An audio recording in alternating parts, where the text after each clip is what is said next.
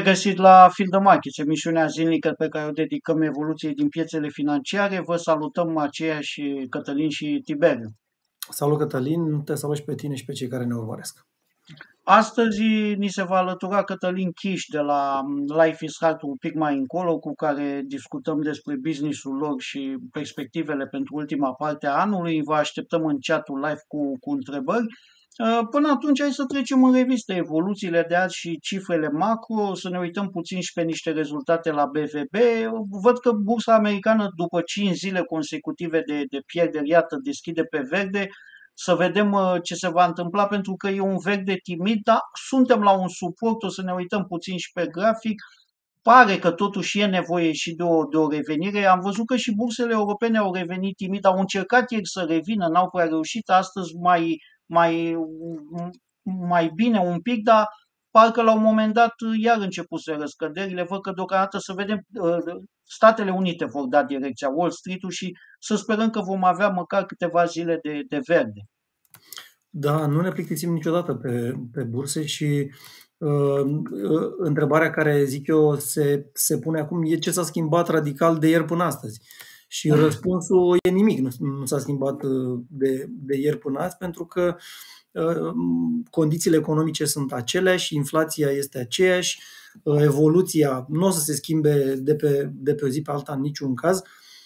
Ieri am trecut așa printr-un moment mai, mai, mai puternic de scăderi și de frică, aș putea spune, cel puțin la noi, o panică. O vânzare în panică a fost ieri la noi, cred că asta este definiția exactă. Și astăzi am văzut că unele uh, chiar au recuperat câteva procente bune, unele acțiuni, cel puțin uh, cele din BET.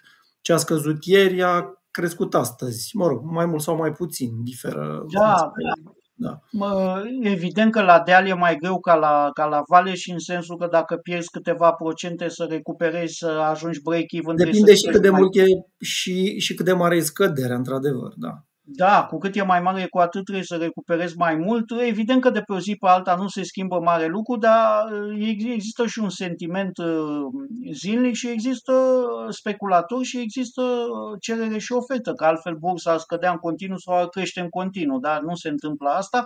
Ce e foarte interesant și o să revenim și la noi, că la noi e, sunt niște cifre, cel puțin pentru indicele BET interesante, e că dacă tot ne-am uitat pe grafice, și pe Nasdaq ieri, pe S&P alaltă, hai să ne uităm puțin și pe Dow Jones, că e foarte interesant. Aici nu prea e un suport unde s-a oprit ieri, în sensul că sunt niște suportări și pentru mine nu sunt foarte importante. Suntem într-o zonă, o zonă care, dacă plecăm din minimul din pandemie până în maximul istoric, e o retragere 38,2 FIBO, este un 20% scădere, deci granița aceea de bear market și Ă, această SMA 100, dar pe weekly. Deocamdată ne uităm pe daily să vedem mai bine mișcările și chiar ă, la zi sau intraday, dar ă, e și media. Deci un dublu, triplu suport aici ar trebui să avem o revenire să vedem. Dacă nu, mă tem că totuși aceste scăderi, dacă vor continua, să vedeți cum se lărgește acest canal de, de downtrend, Uh, aceste scăderi pot duce Dow Jones-ul către, după mine, 27300 aici, 27500 e zona um, următor, următoare retragere FIBO și o zonă importantă. Uh, acum suntem și, cu asta închei, la maximele dinainte de pandemie, deci și asta asigură cumva un suport. Am lăsat totuși graficul mai, mai lejer, așa să se vadă.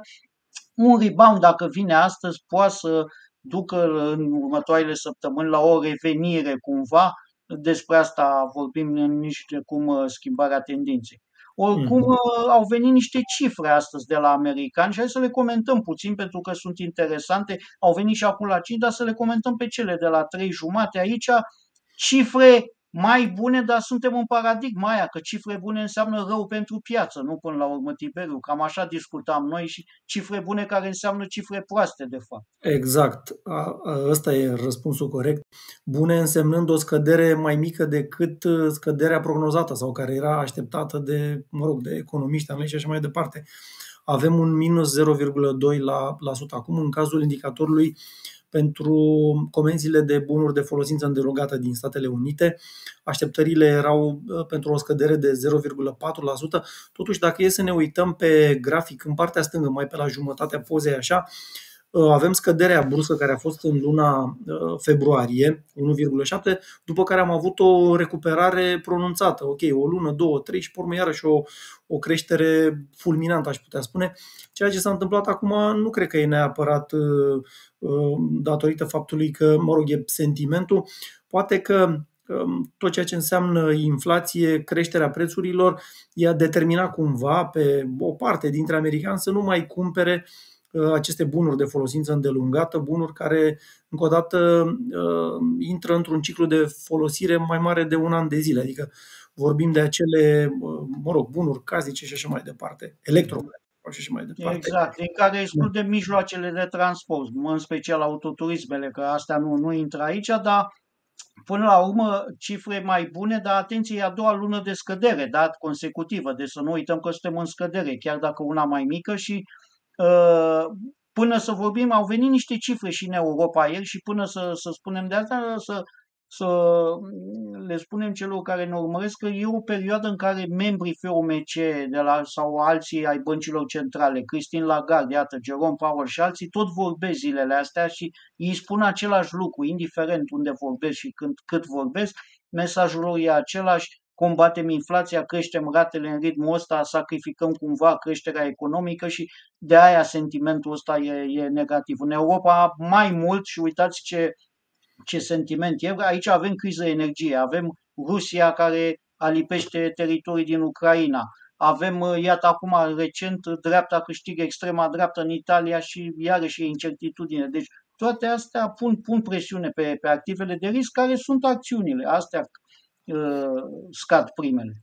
Da, vorbind de sentimentul din economia germană, acel uh, indicator IFO, care este destul de important pentru cea mai mare economie din blocul uh, comunitar, care bineînțeles că s-a deteriorat chiar considerabil în ultima perioadă, a scăzut la 83,4 în septembrie de la 88,6 cât a fost în august.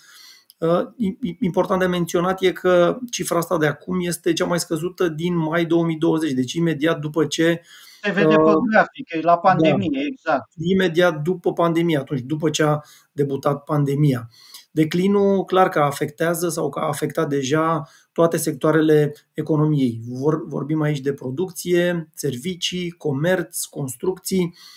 Important e că, ok, ce s-a întâmplat până acum e de bun luat, numai că pesimismul este din ce în ce mai pronunțat cu privire la următoarele 3, 3 poate până la 6 luni, unde așteptările aici iarăși au scăzut la niște minime record, uh, după cum spuneai și tu, în principal datorită crizei astea din sectorul energetic și pentru că, na, știm foarte bine, uh, Germania este destul de mult legată de, sau depinde foarte mult de această sursă de energie, gazul, care vine din est și se pregătește cumva sau pare că, sau dă, dă, dă semne că s-a pregătit destul de mhm. bine până acum Germania și a umplut, am înțeles că 80 și ceva la sută spre, spre 90 acele depozite de gaze, mhm. dar uh, depinde de cât de dură va fi iarna și cât de repede se vor consuma, astfel da. încât, uh, mă rog, să s-a treacă dus, peste mai uh, bine. S-a dus cancelarul Scholz și în Emirate și se duce în Orientul Mijlociu să, să facă rost de gaz lichefiat.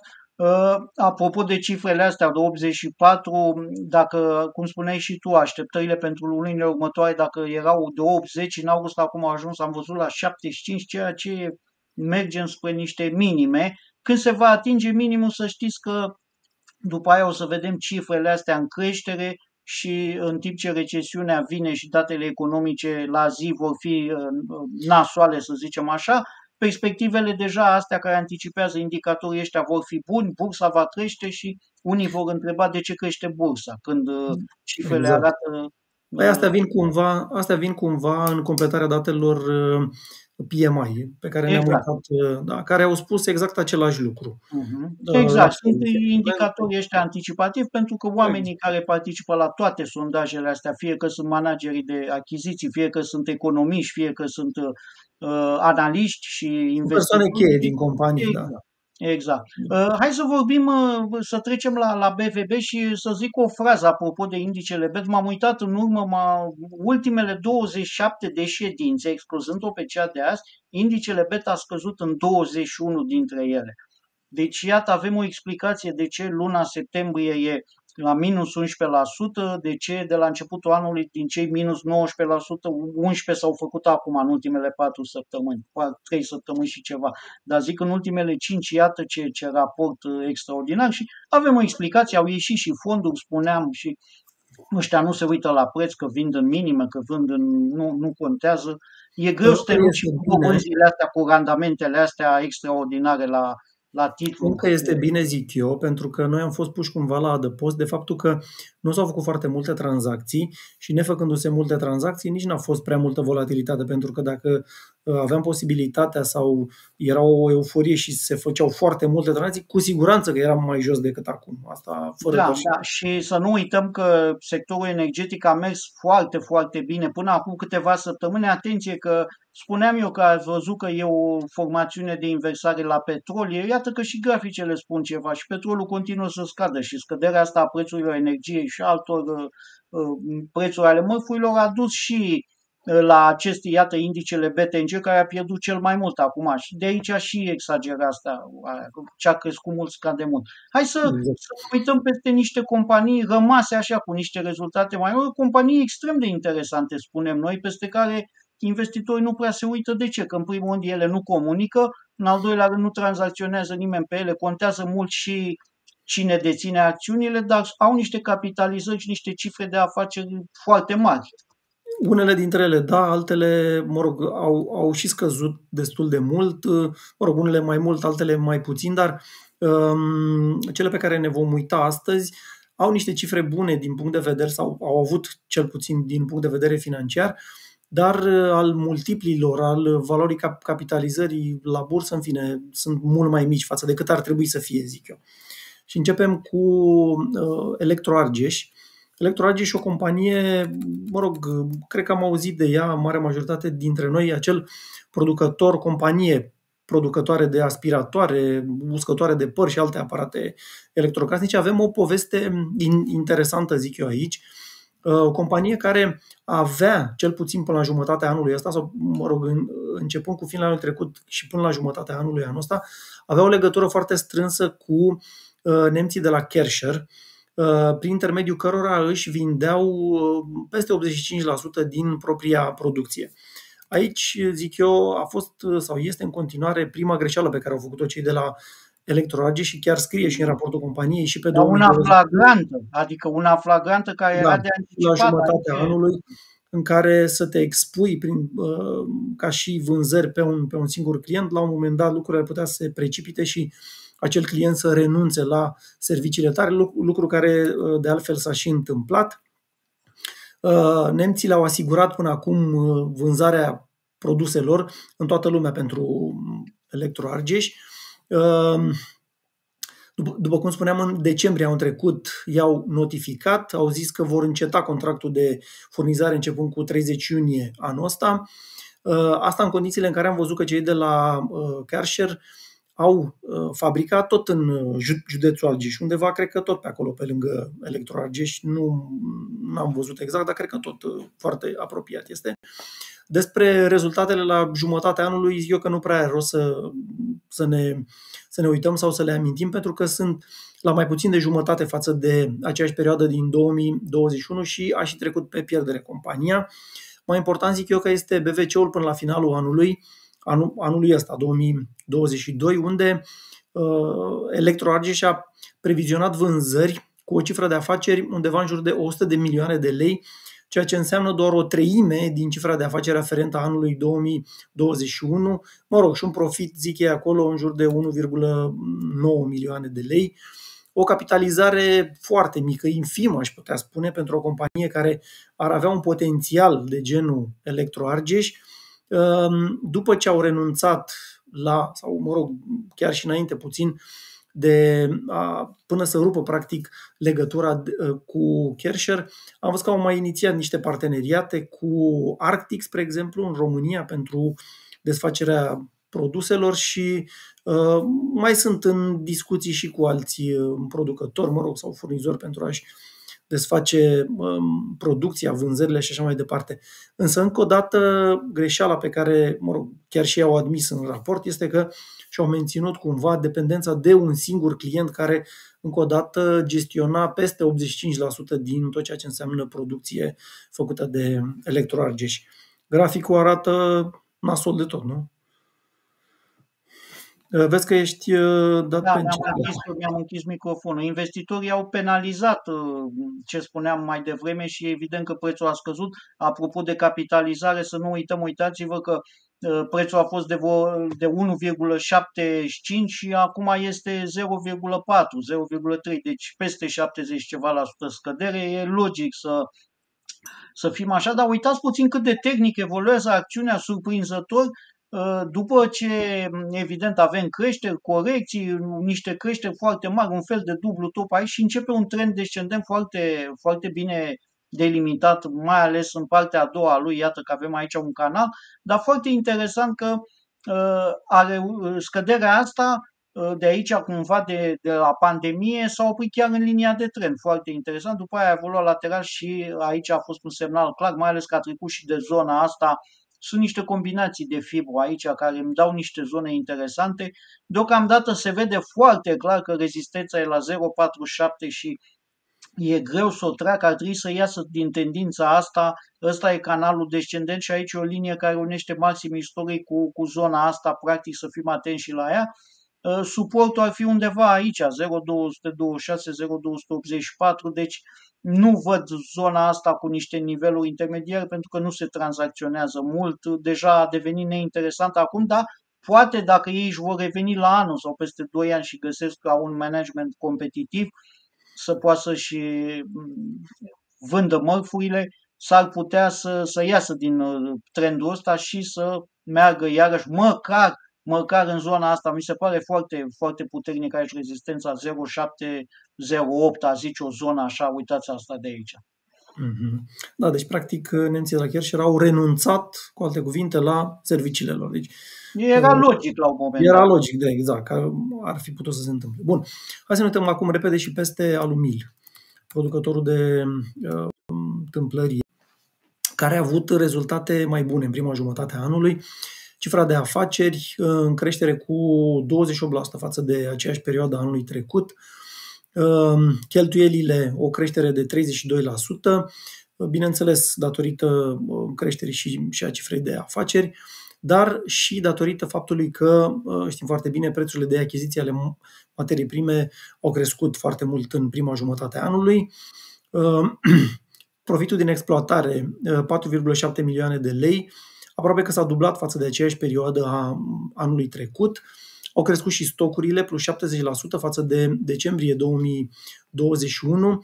Asta uh, am văzut în uh, raport, uh, compania a spus și a făcut cumva niște stocuri ca să aibă, mă rog, materie primă la dispoziție pentru toate, pentru tot, tot ceea ce înseamnă producție uh, până la, până la finalul anului, pentru că um, activitatea este cumva sezonieră și um, vânzările uh, au mai multă tracțiune din punctul lor de vedere în a doua jumătate a anului, cumva poate chiar spre, poate chiar spre final.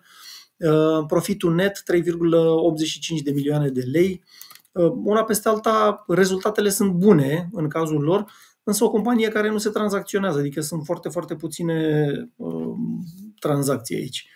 Grafic... Absolut, absolut deloc, nu se tranzacționează, dar foarte interesant două aspecte. E o tendință de creștere din toamna anului trecut, suntem iată în ultimul an în evoluția și uh, ce e interesant e că uh, e o linie de trend aici cu niște depășită cumva, cu niște spike-uri. Practic în uh, martie, 7 martie anul ăsta știm că a fost cu frica asta și cu panica de la război și una acum evident, dar iată un uh, maxim mai mare ca precedentul nu cum s-a întâmplat pe indicele BET. S-a format aici un suport, dar pe mine mă interesează foarte mult că încearcă să revină în canalul ăsta și aici ar fi bătălia să treacă de linia asta punctată dacă nu va, va consolida în această zonă, cum a și făcut-o în ultimele luni, mi-e greu să cred că va ajunge spre 1,9 prea repede.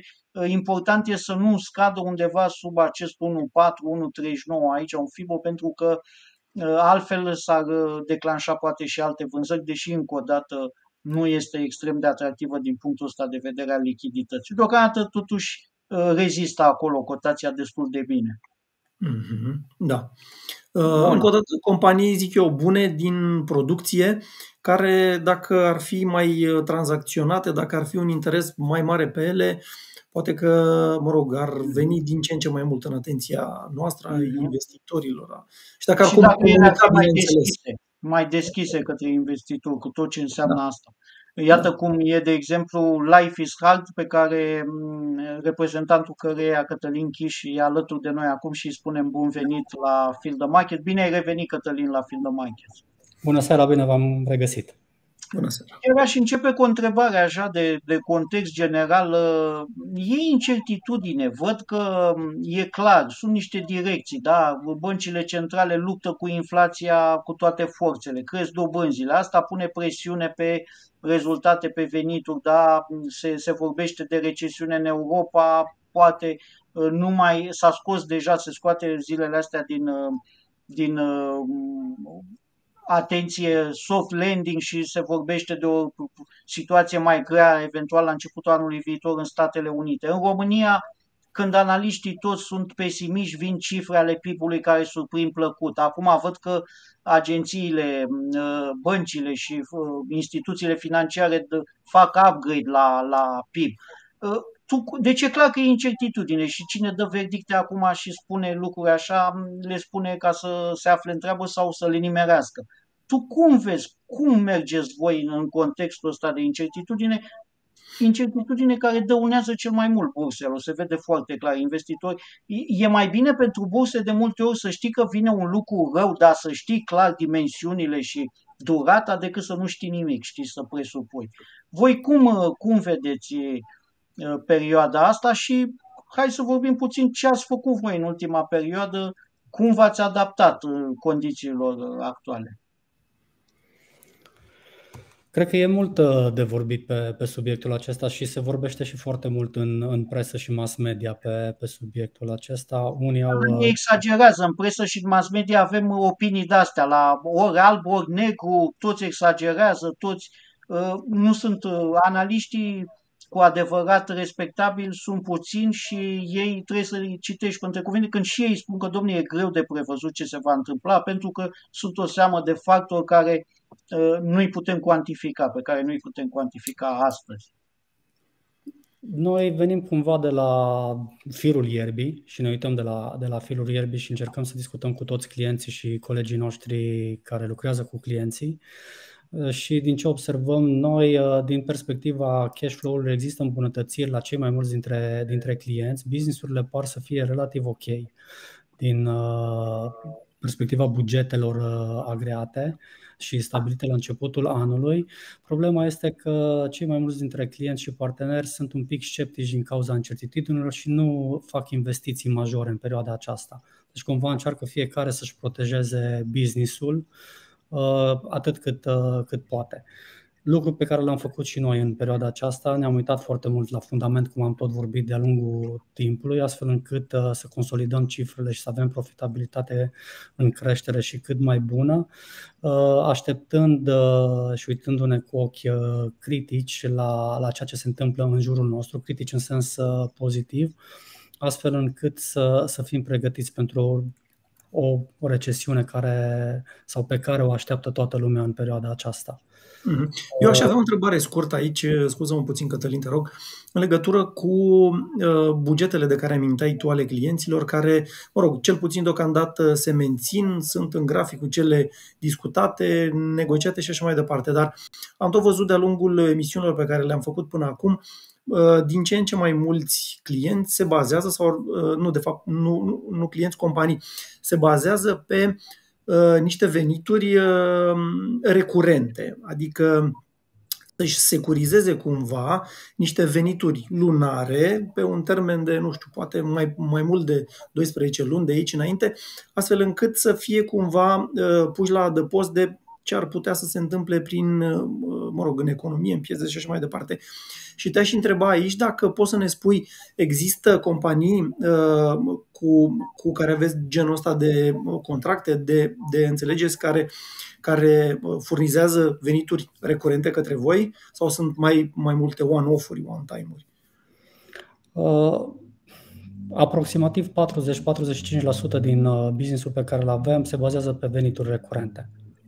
Okay. Uh, și încercăm să creștem ponderea veniturilor recurente în uh, componenta cifrei de, de afaceri. Uh, în același timp, veniturile de one-off de, de care aminteai tu sunt la fel, am putea să le asimilăm o parte dintre ele ca și venituri uh, recurente, deoarece se semnează contracte pe termen de 6, 12, 18 luni de zile și atunci cumva ai putea să ai stabilitate pe, pe acele contracte pe o perioadă mai lungă de timp, ai vizibilitate. Dar dacă vine o criză, din perspectiva noastră, orice contract și orice venit recurent pe care l-ai astăzi intră sub uh, semnul întrebării. Deci va exista o incertitudine pentru că toată economia se va adapta, toate contractele, toți partenerii vor încerca să salveze lucrurile pe care le, le au. De aceea, cumva, și ai dreptate când, când ai zis adineauri, că ne, starea de, de incertitudine e cea care dăunează cel mai mult economiei. E bine să fie bine, e bine să fie rău, în sensul în care a, știi ce ai de făcut, știi ce trebuie, pe ce butoane să, să apeși. Dar problema este că atunci când nu știi pe ce butoane să apeși, te pune cumva într-o stare de, de a sta și a nu face nimic. Lucru care generează haos în jurul tău și în jurul partenerilor pe care îi, îi ai. Mm-hmm. Hai să trecem repede în revistă și evoluția cifrelor uh, în prima jumătate a anului. Avem o creștere a cifrei de afaceri și toți ceilalți uh, indicatori. Creșteri, mă rog, impresionante aș putea spune, EBITDA, profit net, rată de profitabilitate. Totuși, uh, creșterea asta, dacă e să ne uităm la um, profitul net și la EBITDA, sunt niște cifre care, mă rog, nu cred că sau aici poate, poate tu, tu ar trebui să ne spui nu știu dacă ne vom mai întâlni și, în ace- și la anul pe vremea asta tot cu, tot cu cifrele astea, nu? Pentru că mie unul îmi par destul, sau poate că sunt foarte mari, 170, mă rog, peste 200-300%. la sută. Cum, cum sunt astea din punctul vostru? Al tău mai exact. Cum le vezi? O adevărată astea? companie de growth, nu? Astea sunt cifrele care... Uh, da și nu. în sensul în care anul trecut a fost primul an în care am început să facem achiziții și să începem să creștem și prin achiziții, nu numai uh, organic. Uh, profitabilitatea pe care am înregistrat-o anul trecut datorită faptului că am făcut achiziții și am început să, să creștem a fost scăzută. Acum se văd cumva efectele deciziilor luate anul trecut și consolidarea cifrelor, mă rog, prin achiziții, consolidarea întregului, întreg, întregului portofoliu, ceea ce a dus la creșteri semnificative. Și aș face aici o paranteză cumva, ca să dau un pic de, de context. Uh, noi suntem într-un business relativ tradițional, în ideea în care digitalizăm mediul economic din, uh, din România și acum încep să separ lucrurile. Una dintre direcții este digitalizarea mediului economic a IMM-urilor și a comunităților, ceea ce înseamnă Uh, primării, consilii județene, etc. Iar cealaltă parte este digitalizarea domeniului de insurance. În uh, creșterea pe care o avem noi acum uh, înregistrată este raportată la digitalizarea IMM-urilor și a comunităților. Aici se văd creșteri și este un business relativ tradițional, adică pas cu pas vom încerca să creștem. Planul pe care îl avem pe, pentru anul viitor Uh, ne așteptăm să creștem cu aproximativ 20-25%, adică cumva liniar, deci nu vom mai avea acea creștere spectaculoasă pe care am avut-o anul acesta raportat la anul uh, trecut, dar în același timp ne uităm cu ochi uh, de, de dezvoltare cu, și suntem foarte nerăbdători să începem să ne punem planul la Uh, la punct și în aplicare în zona de insurance unde suntem foarte, foarte prezenți. Ne dorim să devenim catalizator în zona, în zona respectivă.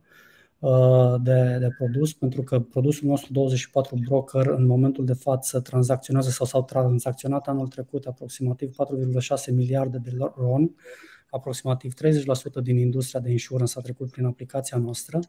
Uh, în zona aceasta avem și competențe tehnice și competențe de business foarte bune și am început de anul trecut să dezvoltăm versiunea 2.0 a aplicației 24 Broker, prin care sperăm ca de anul viitor să se vadă uh, atât în business cât și în uh, dezvoltarea pe care o avem, în sensul în care businessul tradițional pe care trece prin 24 broker să crească Uh, tot așa liniar și cu doi digiți. Hai să spunem, uh, hai, hai să mai spunem încă o dată, nu știu dacă am precizat, uh, utilizatorii aplicației plătesc un subscription fee lunar sau cum se monetizează? Care este modalitatea?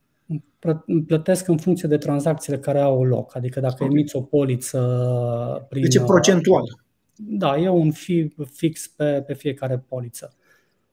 Da, de, de, deci practic uh, insurance-ul, linia de business aferentă 24 broker, care am văzut în cifra de afaceri la semestru e vreo 33%, să ne așteptăm să, să crească, nu în perioada următoare. Mai aveți linia de business de ITNC, de telecomunicații și alte proiecte, nu am văzut pe... Cam astea ar fi, ar ne așteptăm direct. ca linia de insurance să crească în valoare absolută. Aha. Ne așteptăm să creștem tot businessul, dar în valoare absolută ne așteptăm ca linia de insurance să, să crească prin faptul, pe de o parte, că vom avea aplicația versiunea 2.0 și ne vom putea mișca mult mai repede în, în piață și ne uităm uh, la piața de insurance ca la un total, adică ne dorim să aducem noi competențe alături de noi astfel încât să creștem uh, uh, semnificativ. Dar profitul, proiecte... profitul mare de unde vine?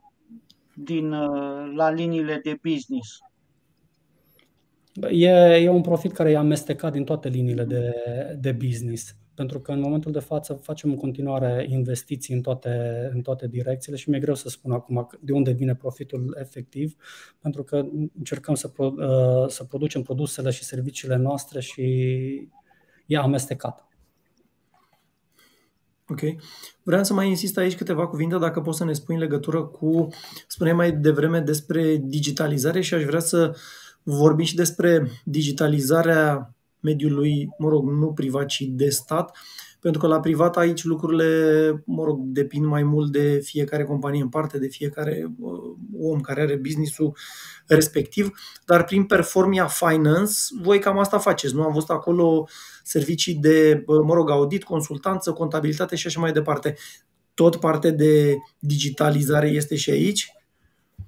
Uh, Performia Finance uh, oferă servicii de contabilitate către IMM-uri, către da. companii mici, mijlocii. Uh, în același timp, uh, prin parteneriatul pe care l-am uh, stabilit cu Performia, ideea este să digitalizăm și mediul acesta și am început să dezvoltăm niște aplicații pe care să le implementăm la clienții pe care avem și aplicații care să convingă și alți clienți să vină alături de, de noi. În ideea în care să digitalizăm și acest proces de contabilitate și financiar pe cât se poate de, de mult, oferind servicii cu valoare adăugată mai mare.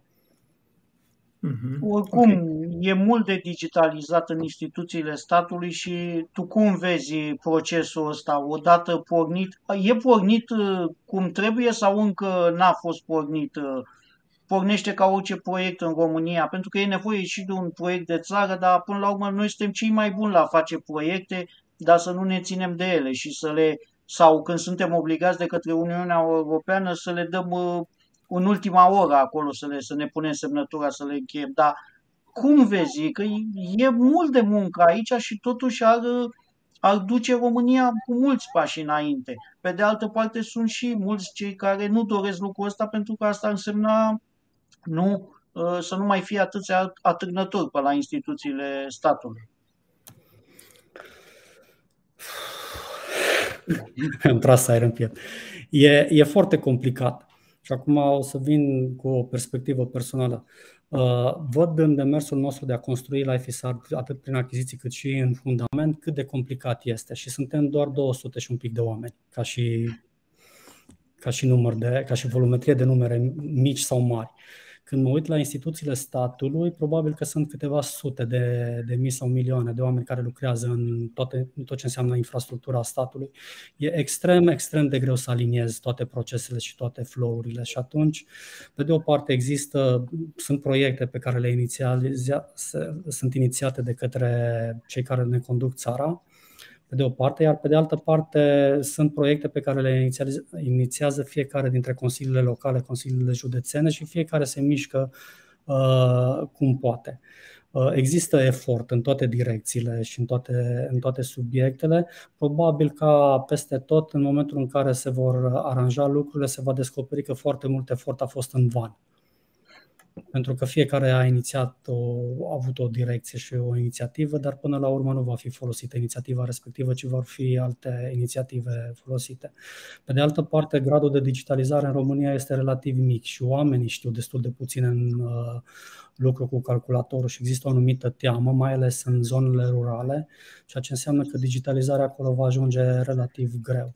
În schimb, în uh, orașele mari sau în județele mari unde există potențial economic și s-au dezvoltat potențial economic, lucrurile sunt un pic mai bune, mai, mai bine și se văd uh, mișcări semnificative. Inclusiv noi avem un proiect la Consiliul Județean Cluj, ghișeul unic, uh, unde încercăm să digitalizăm pe cât se poate instituția din, uh, din perspectiva urbanismului. Adică avem o soluție integrată pentru urbanism digital. Uh, Uh, și încercăm să avem un management digital al întregului departament. Cumva ne propunem să debirocratizăm radical relația cu, cu cetățeanul și să nu mai ajungă cetățeanul absolut deloc la Consiliul Județean, ci doar online să-și rezolve absolut toate, toate problemele pe care le are pe subiectul acesta. Mm-hmm. Și aici, ca și Uh, concluzie, așa să zic, ca să încheiem subiectul ăsta cu digitalizarea primărilor, consiliilor și așa mai departe, Clujul a devenit în ultima perioadă un oraș de top din mai multe puncte de vedere. Și nu numai Clujul, și regiunea. Uh, atrage din ce în ce mai mulți bani, mai, mulți, mai, mai, mai multe investiții. Autoritățile de acolo parcă sunt deschise la mai multe uh, uh, lucruri decât, mă rog, prin alte părți. Uh, dacă e să facem o comparație cu alte regiuni, pe ce loc ai situa, nu știu, Clujul și, uh, nu știu, partea de est, așa să zic, mă refer aici la toată Moldova. N-am nimic cu ce se întâmplă în zona aia, dar ca și idee, uh, în sud lucrurile să zic că se, se mișcă, în centru și vest mai repede, însă în est prea puțin pare. E război la graniță, aproape și de aia. Uh, mi-e greu să, să vă zic, pentru că nu am informații prin care să pot să fac uh, comparație. Pot să vă zic doar uh, județele cu care discutăm și unde suntem în contact și vedem interes ca și aplecare pe subiectul acesta. În rest, comparația cu alte județe punctual da, e mai greu. Foarte, foarte greu să, să fac. Mm-hmm. Bun. Hai să vorbim puțin și despre Innobyte, pentru că aici sunteți uh, acționar cu 100%, nu? Față de da. Performia. Și aici uh, aș vrea să ne spui despre această, uh, mă rog, nouă platformă cu nouă tehnologie care, mă rog, pe care voi vreți să o folosiți sau la care lucrați acum, care este scrisă de fapt și în, și în planșa asta. Uh, Innobyte, ca și companie, Inobai, ca și companie de e-commerce, s-a specializat de-a lungul timpului pe Magento 2, care este o tehnologie de a dezvolta uh, aplicații pentru, pentru companii de e-commerce. Mhm.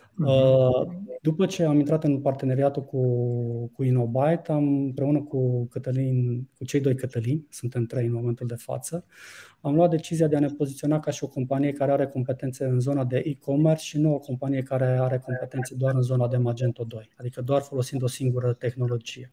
Motiv pentru care, începând cu anul 2022, adică la începutul anului acesta, am început să specializăm colegi și pe alte platforme și să aducem colegi alături de noi și pe alte platforme decât Magento 2.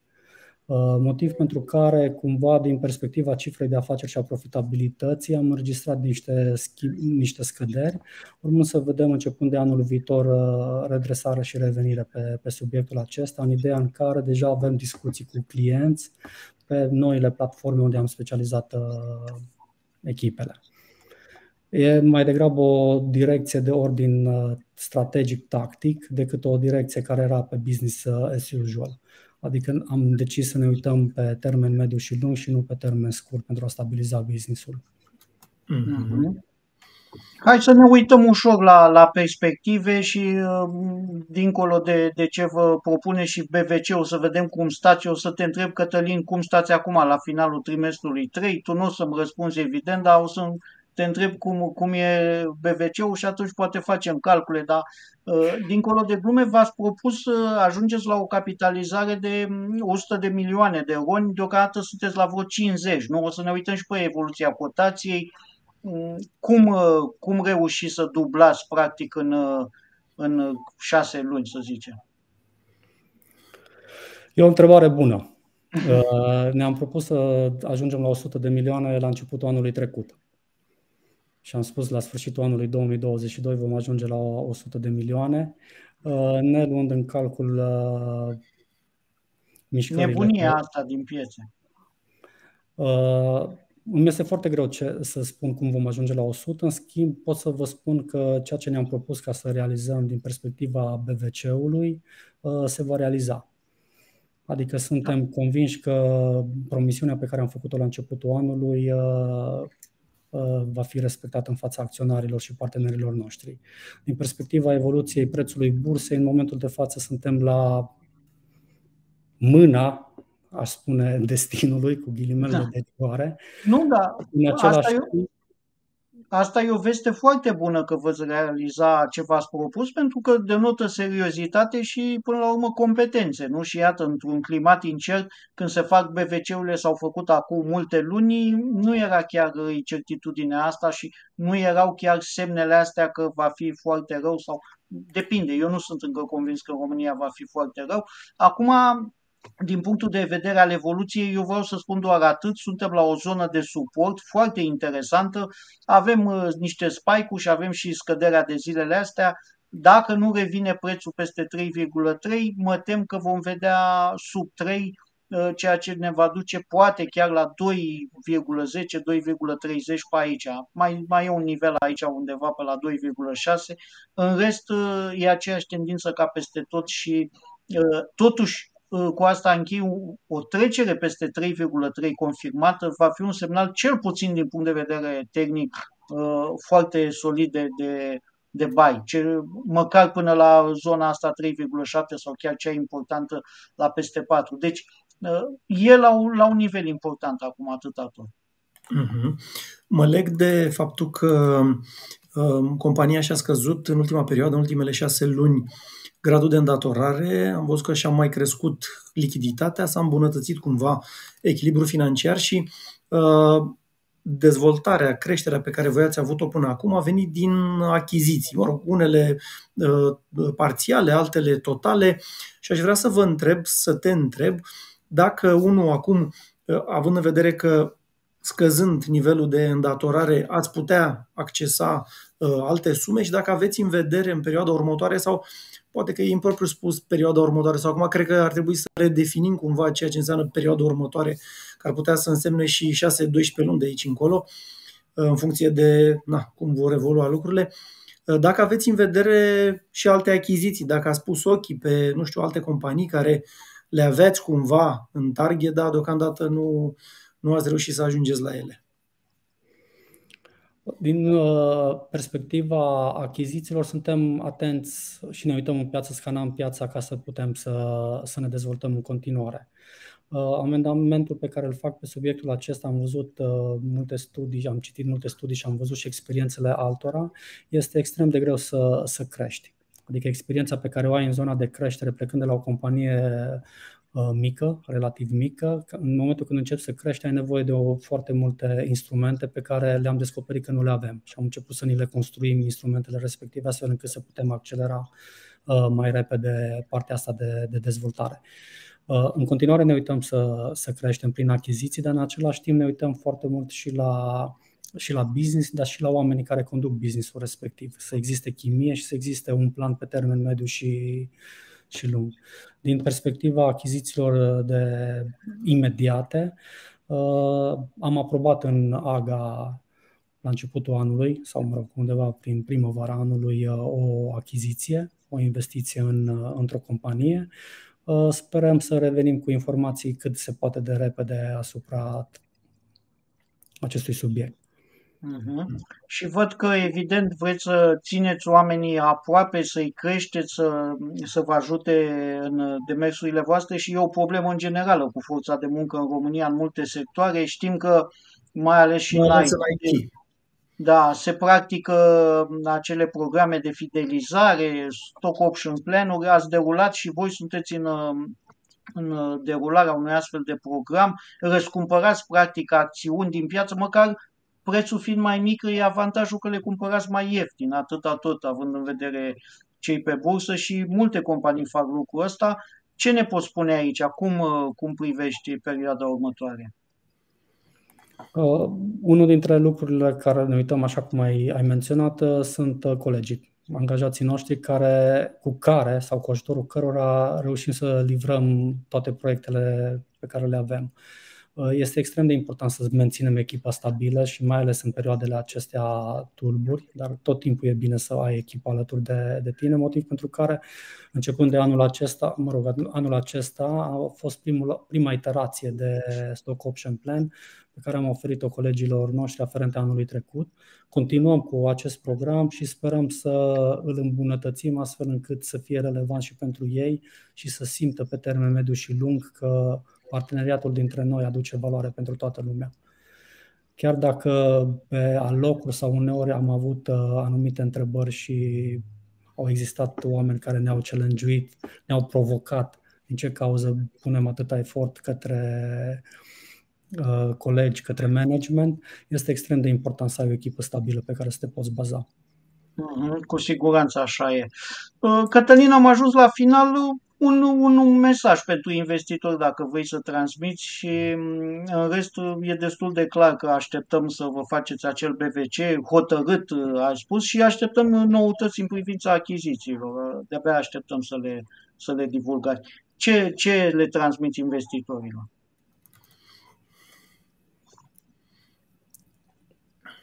Mi-ar fi plăcut să nu existe criza asta ca să fie mai, mai ușor. Pe de altă parte, poate fi o oportunitate. De multe ori sunt oportunități și cei care ies de aici, de multe ori ies mai întăriți și uh, cu, cu perspective mult mai mari pe viitor. Uh, singurul lucru pe care aș dori să-l transmit în momentul de față investitorilor este că ne vom onora promisiunea pe care o facem pentru, pentru ei, pentru toată lumea. Păi uh, e mai, cel, cel mai, mai, departe, cel mai bun mesaj ăsta mai departe de atâta, cum va evolua piața de capital sau cum vor evolua lucrurile, nu știm, dar în momentul de față, cel puțin aferent uh, promisiunii făcute la începutul anului, ne, ne o vom onora.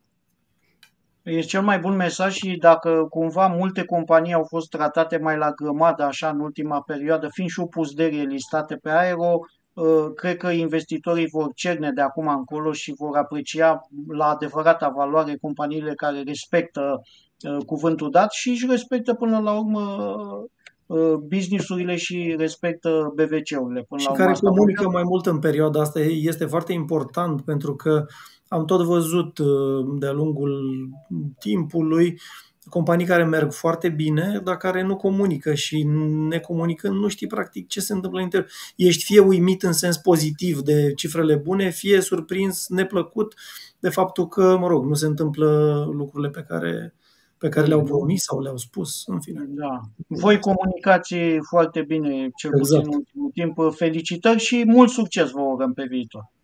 Mulțumim frumos! Încheiem ediția de astăzi aici. Vă dăm întâlnire mâine cu noi invitați. Până atunci, seară plăcută și profitabilă. La revedere!